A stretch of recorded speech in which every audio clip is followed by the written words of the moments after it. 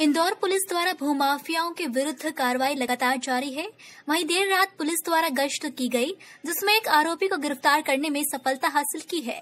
आरोपी पूर्व में भी व्यापम घोटाले में मुख्य सरगना रह चुका है। दरअसल पुलिस द्वारा भूमाफियाओं के खिलाफ कार्रवाई की जा रही है और ऐसे भूमाफिया पुराने वारंटी की धरपकड़ पुलिस द्वारा की जा रही है। वहीं पुलिस के हाथ जगदीप सागर लग गया, जो चेक बाउंस के मामले में फरार चल रहा था। आरोपी जगदीश सागर पूर्व में व्यापम का मुख्य आरोपी रह चुका है। वह जेल भी काट चुका है। फ़िलहाल विजयनगर पुलिस ने गिरफ़्तार कर कोर्ट में पेश किया है। कल इंदौर पुलिस की तरफ़ से माफियों के विरुद्ध रात में कोम्बिंग का अभियान चलाया गया था, जिसमें पुराने वारंटी, फरार आरोपी और माफियाओं की दबिश देकर उनको पकड़ा गया था।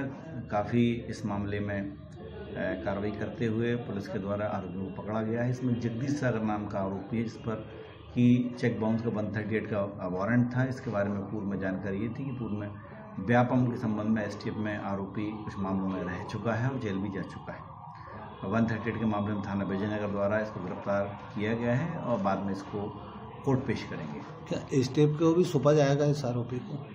नहीं हम लोग एक बार ज़रूर उनकी जानकारी में डालेंगे और उसमें कहीं वांटेड होंगे तो वो लोग एसटीएफ के जो है वो कांटेक्ट करेंगे।